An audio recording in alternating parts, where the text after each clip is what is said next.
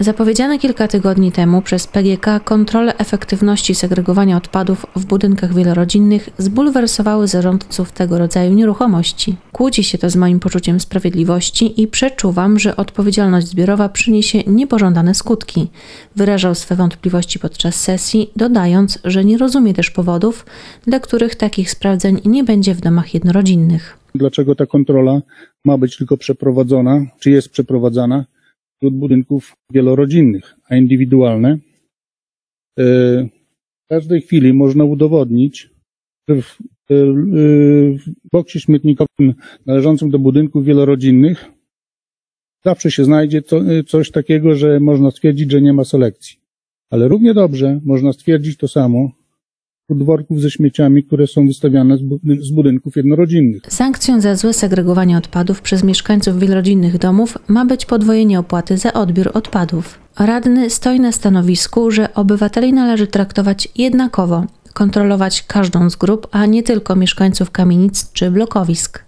Ma też poważną wątpliwość do sankcji w postaci podwajania opłat. Uważam, że możemy tutaj y, przedobrzyć sprawę.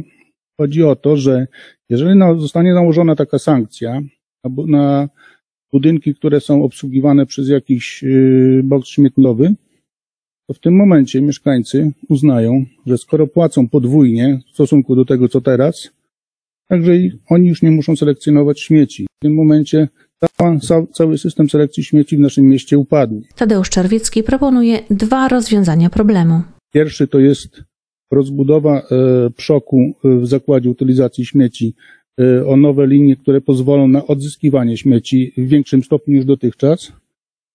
Jednocześnie to będzie także plus, bo będą to nowe miejsca zatrudnienia dla naszych mieszkańców.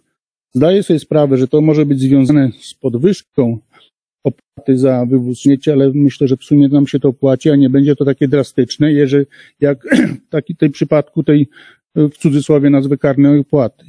No drugi system to dotyczy właśnie budynków wielorodzinnych, ale to musi zorganizować miasto.